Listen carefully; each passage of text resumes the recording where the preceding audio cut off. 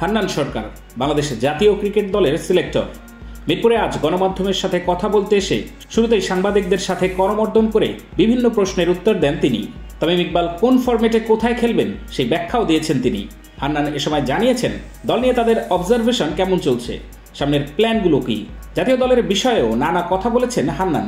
এ সময় তিনি জানান তামিম ইকবালের বিষয়টা আসলে এটা তো তামিমের কল পাশাপাশি হচ্ছে এখানে বোর্ডের আমাদের টপ ম্যানেজমেন্ট রয়েছেন, তাদেরও কিছু কল রয়েছে বাট তামিম এনসিএল টি টোয়েন্টিটা খেলবে, এটা মোটামুটি একটা তার ইচ্ছা পোষণ করেছে এবং সেই জায়গাটায় তার হয়ে নিতে পারে বেনুর ব্যাপারে তো এনসিএল টি টোয়েন্টি আমি তামিম খেলে স্বাভাবিকভাবে চিটাং ডিভিশনের হয়েই খেলবে সো টি টোয়েন্টিটা সে খেলবে, কয়টা ম্যাচ খেলবে, কখন খেলবে, এই বিষয়গুলো আরও সময় রয়েছে আমাদের টি টোয়েন্টির আগে তো সেটা আমরা আলোচনা করব বাট এনসিএল টি টোয়েন্টিটা সে খেলার ব্যাপারে আগ্রহ প্রকাশ করেছে। এনসিএল তো আমাদের চারটা রাউন্ড শেষ হলো। এখানে আপনারা বেশ কিছু ভালো পারফরমেন্স দেখেছেন। কিছু প্রমিজিং প্লেয়ার যারা নতুন শুরু করেছে, তাদের কিছু ভালো পারফরমেন্স আমরা দেখেছি। আসলে ভালোর তো শেষ নেই। মানে আমরা কিছু কিছু জায়গায় ভালো উইকেট পেয়েছি কন্ডিশন পেয়েছি, কিছু জায়গায় স্ট্রাগল করেছি। লাইক আমি যদি মেনশন করি, কক্সবাজার আমাদের মেইন গ্রাউন্ড যেটা, সেই মাঠের উইকেটটা আসলে খুব আশানুরূপ বলব না। বাট বাকি মাঠগুলো, কক্সবাজার একাডেমি গ্রাউন্ড বা আমরা যদি রাজশাহীর খেলা দেখি, বগুড়ায় ইভেন সিলেটে ম্যাক্সিমাম মাঠে আমরা ভালো উইকেট পাচ্ছি। তবে এর চেয়েও ভালো করার সুযোগ আছে, আমরা চেষ্টা করব নেক্সট টাইম বাট খারাপ বলব না আমি। আর বলার ব্যাটসম্যানদের মধ্যে থেকে আমরা যদি দেখি, বেশ কিছু ভালো পারফর্মার আমরা দেখেছি। স্পেশালি যদি আমি বলি ইয়াং প্লেয়ারদের মধ্যে অমিত একটা দুইশো করল দীপু লাস্ট ম্যাচে একশো করল। এছাড়া আমাদের সিনিয়র প্লেয়ারদের মধ্যে বিজয় খুব ফর্মে রয়েছে কনসিস্টেন্ট রান করছে। ইমরুল কিছু ভালো ইনিংস খেলেছে, মিথুন একশো করল। এরকম ওয়ান টু ওয়ান বলতে গেলে আসলে অনেকগুলো নাম আসে রাজশাহীর আমরা দেখেছি সাব্বির রান করেছে। আইস রান করেছে মার্শাল রান করেছে। সো অনেকগুলো পারফর্মার রয়েছে বাট সোফার এনসিএল যেভাবে চারটা রাউন্ড শেষ হলো আমরা মোটামুটি ভালো মতো অবজার্ভ এবং প্লেয়ারদের সঙ্গে, বিভিন্ন সময় কমিউনিকেশন করার চেষ্টা করছি। সোফার ভালোই রান করছে। বরিশাল টিমকে নিয়ে যদি আলাদা করে বলতে হয়, আসলে প্রথমে যদি আপনি ফিটনেসের কথা বলেন, শুধু লঙ্গা ভার্সন না, যে কোনো ফরম্যাটে খেলার জন্য ফিটনেস ফার্স্ট প্রায়োরিটি তো সেটা আমাদের একটা রেগুলার ক্রাইটেরিয়া বা একটা প্রসেস যে আপনার ফিটনেস টেস্টে পাস করি, তারপর আসতে হয়। সেই জিনিসটা সবাই পার্টিসিপেট করে। তারপরেই কিন্তু টুর্নামেন্টে পার্টিসিপেট করার সুযোগটা হয়। তো সেখান থেকে সবাই ফিটনেস টেস্ট দিয়ে তারপরে আসতে হয়, সেটা সবাই করেছে। এখানে বরিশালে আমরা দুইজন প্লেয়ার কিন্তু করেছি, এটা বরিশালে আপনি দেখবেন যে প্লেয়ার বেশ কিছু ঘাটতি রয়েছে আসলে। লোকাল প্লেয়ার বলেন বা বরিশালের নিজস্ব এরিয়ার যদি প্লেয়ার দেখি আমরা, সেখানে প্লেয়ারের ঘাটতি রয়েছে। এর আগেও আপনি দেখেছেন বিভিন্ন সময় যেমন আমি নিজে থেকে শুরু করে মানে ন্যাশনাল লিগ যখন আমি শুরু করেছি নাইনটি নাইনে তখন থেকে আমি কিন্তু বরিশালের না, কিন্তু আমি বরিশালের খেলেছিলাম। এরকম মোসাদ্দেক খেলেছে, অনেক ন্যাশনাল প্লেয়ার বা অনেক প্লেয়ার নাসির খেলেছে তারা খেলে সেখান থেকে আবার ব্যাক করেছে বা নিজের যাত্রা শুরু করেছে। তো সেটা বরিশালে সবসময় একটা ঘাটতির কারণে হয়ে থাকে। এবারও তার ব্যতিক্রম না। এবার যদি আপনি আলাদাভাবে সেভাবে বলতে চান, মজিদ একজন প্লেয়ার রয়েছে, আপনারা সবাই জানেন, ঢাকা লিগে খুবই পরিচিত নাম। মজিদ সেখানে খেলছে, একটা ভালো রানও করেছে। একশো করেছিল। পাশাপাশি আরও ছোটো ছোটো কন্ট্রিবিউট করেছে বাট বরিশালে বেশ কিছু ইনিংস লম্বা করার ক্ষেত্রে তার ভূমিকা রয়েছে। তাসামুল মিডওয়ার্ডার একজন ব্যাটসম্যান যে প্রায় সেভেন্টির প্লাস ফার্স্ট ক্লাস ম্যাচ খেলেছে, বারোটার উপর একশো রয়েছে। মিডওয়ার্ডার একটা ঘাটতি ছিল, সেখানে আমরা তাকে দিয়েছি। ইয়াং প্রমিজিং বলতে আদিল আন্ডার নাইনটিন খেলেছে, তাকে আমরা সেখানে দিয়েছি top order batsman wicket keeper so কয়েকজন প্লেয়ারকে জসিমুদ্দিন চিটাং ডিভিশন একজন প্লেয়ারকে আমরা দিয়েছিলাম। সো এরকম বেশ কিছু প্লেয়ারকে আমরা সেখানে দেওয়ার চেষ্টা করছি, যারা বরিশাল ডিভিশনের বাইরে। তো তারা সুযোগ পেলে তারা যদি নিজেদের প্রমাণ করতে পারে, তারা কন্টিনিউ করবে। তারপরে যদি কন্টিনিউ করতে না পারে পারফর্ম করতে না পারে, সেখানে বরিশালের কেউ যদি বেটার থাকে, তারা আসবে। এখা- এখানে এখানে ইম্পর্টেন্ট আমি সেটাই বলছিলাম, বরিশালে আপনি দেখবেন একজন, দুজন প্লেয়ার দিয়ে কিন্তু আসলে ন্যাশনাল লিগে সবসময় কভার করা যায় না। একই ম্যাচে আপনার হয়তো একজন প্লেয়ার রান করল, পরের ম্যাচে হয়তো অন্য আরেকজনকে দায়িত্ব নিতে হবে। এখানে প্লেয়াররা মানে ঘুরে ফিরে আপনি যদি পুরো স্কোর কার্ডটা দেখবেন, একজন বা দুইজন প্লেয়ারের উপর ডিপেন্ড করেই তারা এগিয়ে যাচ্ছে। বাকি যারা বরিশালের লোকাল প্লেয়ার রয়েছে, তাদের কাছ থেকে আরেকটু বেটার পারফরমেন্স আমরা আসলে আশা করি। তো সেই জায়গাটায় তাদের ঘাটতি রয়েছে। আর বাইরে থেকে যারা গিয়েছে, তারা, তাদের মধ্যে যেমন ফর এক্সাম্পল আমি নাম মেনশন করতে পারি, জসিমকে আমরা তিনটা ম্যাচ খেলানো হয়েছে। আশানুরূপ পারফর্ম হয়নি, সেখানে আমরা আবার একজনকে রিপ্লেসমেন্ট দিচ্ছি যে বরিশালের শামসুল অনিক যে আগে বরিশালের অনেকগুলো ম্যাচও খেলেছিল। বাট এরকমভাবে আমরা কিন্তু আবার রিপ্লেস করার সুযোগও দিচ্ছি তাদেরকে। তো বরিশালের পারফরমেন্স যদি আলাদা করে বলতে হন, তাদের, আমার কাছে মনে হয় যে তাদের ব্যাটসম্যানদের কোয়ালিটির জায়গা থেকে তারা অন্য দলের বেশ কিছু ব্যাটসম্যানদের সঙ্গে কম্পেয়ার পিছিয়ে রয়েছে। সো এটা একটা আমাদের জন্য অবশ্যই কনসার্ন যে বরিশাল টিমটাকে আরও বেটার করার জন্য কী করা যেতে পারে। এই বছর যারা রয়েছে তারা তো খেলছেই। নেক্সট টাইম নিশ্চয়ই আমরা এটা নজর রাখব। আরেকটা বিষয় আপনি দেখবেন, আমি যেই মাঠটার কথা মেনশন করেছিলাম কক্সবাজারে মেইন গ্রাউন্ড যেটা, সেই মাঠে তারা পরপর দুটো ম্যাচ খেলেছে। সেই মাঠটার উইকেটটা মানে আমরা যেই লেভেলের উইকেট আশা করি সেরকমটা বিহেভ করেনি।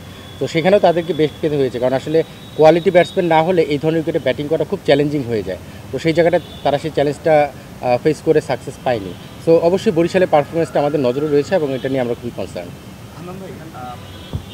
ফিটনেস টেস্ট সবাইকে দিতে হবে। এটা আমাদের একদম বেসিক একটা ক্রাইটেরিয়া যেটা হলো ফিটনেস টেস্টে অ্যাটেন্ড করবে, তারপরে তার একটা টার্গেট থাকে, সেই টার্গেটটা রিচ করতে হবে। কিছু কিছু সিনিয়র প্লেয়ারের ক্ষেত্রে আপনি দেখবেন যে আমাদের ফিটনেস টেস্টে আমাদের যে মানে ফার্স্ট টার্গেট যেটাকে রিচ করতে হবে, সেটা রিচ না করেও দু একজন প্লেয়ারকে আমরা সুযোগ দিয়েছি। যারা সিনিয়র প্লেয়ার তাদের ক্ষেত্রে সেরকমটা হয়েছে যারা ন্যাশনাল লিগ এখনও খেলছে।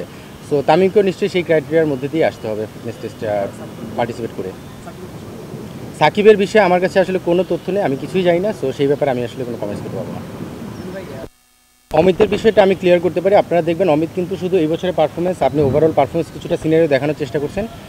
সে জাতীয় লিগে ডেবু হওয়ার পর থেকে প্রতি বছর রান করেছে ডোমেস্টিক ক্রিকেটে ফার্স্ট ক্লাস ক্রিকেটে সো ডোমেস্টিকে পারফর্ম করার পরে সে তার চেষ্টা হচ্ছে এইচপিতে আসা বা নেক্সট প্রোগ্রামের মধ্যে আসা। সেখানে কিন্তু গত চার বছর, তিন বছর প্লাস সে এইচপি স্কোয়াডে রয়েছে। এইচপিতে বেশ কিছু ম্যাচ তাকে খেলানো হয়েছে ইন্টারন্যাশনাল এনভায়রনমেন্টে এবার অস্ট্রেলিয়া যে আমাদের এইচপি টিম গিয়েছিল, সেখানেও কিন্তু সে ছিল। সেখানে চারটা ইনিংসও ব্যাটিং করেছে। আমিও সেখানে টিমের সঙ্গে ছিলাম, আমি কাছ থেকে ব্যাটিং দেখেছি। এই ধরনের প্লেয়ার যারা রেগুলার পারফর্ম করছে, তাদেরকে আপনি কঠিন একটা মঞ্চে নিয়ে ফেলে বিপদে ফেলার আগে তাকে আরও কীভাবে আমরা ইন্টারন্যাশনাল মানে প্লেয়ার বানিয়ে নিতে পারি, সেটা নজর দিতে হবে। আপনার এখানে বলার বা লুকোচুরির কিছু নেই, আমাদের ডোমেস্টিক এবং ইন্টারন্যাশনাল খেলার মধ্যে বেশ একটা ভালো পার্থক্য রয়েছে। এটা কিন্তু আপনি সবসময় লক্ষ্য করবেন ডোমেস্টিকে অনেক পারফর্মার ক্রিকেটে খুব স্ট্রাগল করছে। দেখেছি, হয়তো সার্ভাইভ করতে পারেনি, খুব স্ট্রাগল করেছে। আবার অন্য চিন্তা করতে হয়েছে। সো অমিত এমন একজন প্লেয়ার যাকে আমরা দেখছি রেগুলার রান করছে, তাকে আমরা রেডি করার প্রসেসের মধ্যে রেখেছি। আমি বিলিভ করি যে একটা প্লেয়ারকে সুযোগ দিলে তাকে যেন এনাফ সুযোগটা দেওয়া হয়। আর সেই সুযোগটা দেওয়ার আগে তাকে এনাফ ম্যাচুরিটি বা তাকে সেই লেভেলের মতো রেডি করে নিয়ে যাওয়াটা তার জন্য যতটা ভালো, আমাদের জন্য। আরেকটা জিনিস লক্ষ্য করবেন, একটা প্লেয়ারকে ইন্টারন্যাশনাল এনভায়রনমেন্টে ডেবু করার ক্ষেত্রে কোথায় করলে ভালো হয়, কোন কন্ডিশনে করলে ভালো হয়, এই বিষয়গুলো কিন্তু ম্যাটার করে। সো অনেকগুলো বিষয় এখানে আলোচনা রয়েছে। অমিত, আমাদের খুব কাছাকাছি প্রসেসের মধ্যে রয়েছে। অমিত এমন না যে শুধু এই বছরই করেছে, প্রতি বছরই করছে এবং সে খুব কাছাকাছি রয়েছে। আরেকটা বিষয় আপনি জিজ্ঞেস করেছিলেন আমাকে কোন বিষয়টা? পাস পাস করবে না কেন? পাস তো সবাই করবে। পাস করছে এবং আমি একটু আগে বলেছি যে কিছু প্লেয়ার সিনিয়র প্লেয়ার রয়েছে যাদের সবার ক্ষেত্রে যে একটা কমন ক্রাইটেরিয়া রয়েছে যে একটা লেভেল পার করতে হয়। সিনিয়র প্লেয়ারদের ক্ষেত্রে আমরা সেই জায়গাটা অনেক সময় একটু শিথিল হই। আমি বলব না যে পুরো একদম ছেড়ে দিই বাট টেস্টটা দিতে হবে। তার কতটুকু রিচ করেছে, কতটুকু সে রিচ করে আমাদের সেই ক্রাইটেরিয়ার কাছাকাছি যেতে পারে, সেটা আমরা নজর রাখছি। বাট অবশ্যই সবাই টেস্ট দিবে এবং আমার বিশ্বাস সবাই পাস এসেছে এবং পাস করে আসবে। অবশ্যই আছে। তো আমার ফার্স্ট টেস্ট মিট যখন করেছি ন্যাশনাল সিলেক্ট হওয়ার পরে আমি বলেছি, বয়সটা আসলে কিন্তু মুখ্য না। তার ফিটনেস এবং তার পারফরমেন্স যদি ভালো থাকে, তাহলে অবশ্যই সে যে কোনো সময় কনসিডার করা যেতে পারে। হ্যাঁ এটার সঙ্গে একটু যোগ করতে হয়। আমাদের চিন্তাভাবনাটা কি? আমরা কতটুকু সময়ের জন্য চিন্তা করছি, কত দীর্ঘ সময় চিন্তা করছি নাকি ছয় মাসের চিন্তা করছি, এগুলো অনেকগুলো বিষয় রিলেটেড তো এই জায়গা থেকে আমাদের চিন্তাভাবনাগুলো করে আমরা এগোতে চাই। মার্শাল বা ইমরুল বা আমরা যদি বিজয় ইভেন শামসুর রহমান শুভ, অনেকেই কিন্তু এরকম সিনিয়র প্লেয়ার রয়েছে। ইভেন নাইম এবছর এখনও জ্বলে ওঠেনি বাট নাইম প্রতি বছর পারফর্ম করে। এরকম অনেক সিনিয়র প্লেয়ার রয়েছে যারা- অনেক দিন পারফর্ম করছে। আগে কেন সিলেক্টেড হয়নি, আগে কেন চিন্তাভাবনা ছিল, সেটার সঙ্গে আমি যেতে পারব না, সেটা আমি ছিলাম না তার পার্ট বাট আমাদের এখন যে চিন্তাভাবনাটা রয়েছে তাদেরকে আমরা একদম ছুঁড়ে ফেলে দিয়েছি। তারা আমাদের চিন্তায় নেই, সেটা বলব না, আমরা আলোচনার মধ্যে রয়েছি। আপনি দেখতে হবে কখন, কোথায়, কীভাবে সুযোগটা দিতে হবে, সেই জিনিসটা আমরা মাথায় রেখেছি। আপনি এখন এই বছরই আমাদের আর মাত্র দুটো টেস্ট বাকি। ন্যাশনাল হওয়ার পরে আমরা দুটা টেস্ট পাচ্ছি। দুটো টেস্টে এনে আগামী বছর আমরা টেস্ট খেলতে কখন যাচ্ছি আপনারা একটু ক্যালেন্ডারটা দেখবেন। জিম্বাবুয়ের সঙ্গে বেশ অনেক সময় বাকি। এখন এই দুইটা টেস্টের জন্য আমরা আসলে নতুনভাবে চিন্তাটা করিনি। আপনি দেখবেন দীপুর আসার ক্ষেত্রে কিন্তু সেই বিষয়টা ইম্পর্টেন্ট ছিল। দীপু চারটা টেস্ট খেলেছে, কিছু সময় দলের বাইরে ছিল। একটা একশো করেছে, আবার দলে ইনক্লুড হয়েছে। সো রিসেন্ট যারা ন্যাশনাল টিমের আশেপাশে ছিল বা ন্যাশনাল টিমের প্রসেসের মধ্যে ছিল, তাদের প্রতি আমাদের নজরটা একটু বেশি থাকে। অবশ্যই সিনিয়র প্লেয়াররাও তো সেই নজরের বাইরে না। সো নেক্সট টাইম আমরা অবশ্যই এই বিষয়গুলো নিয়ে আরও ডিটেলে চিন্তা করার সুযোগ পাবো। আগের সঙ্গে চেঞ্জেসের ব্যাপারে আমি খুব আগে আমি আপনারা সবাই জানেন এইচ গ্রুপ সিলেক্টেড ছিলাম আমি ন্যাশনালি খেলা দেখতে যেতাম না। বা ঢাকা প্রিমিয়ার লিগেও আমি খেলা দেখতাম না। তো আগের সঙ্গে আমি কম্পেয়ার করে যেতে পারব। তবে এনসিএলে এখন এবার আমি যেটা দেখছি, আমার কাছে মনে হচ্ছে ভালো হচ্ছে, তবে ভালো শেষ নেই আরও ভালো করার সুযোগ এটা এটা বেসিক্যালি আমরা তিন সিলেক্টার একসঙ্গে বসার সময়টা খুব কম পাচ্ছি, এটা আপনারা জানেন যে আমরা আসলে প্রতিটা ভেনুতে প্রতি রাউন্ডেই যাচ্ছি। পাশাপাশি ইন্টারন্যাশনাল কিছু শিডিউলের কারণে ব্যস্ততা থাকে। লিপু আমি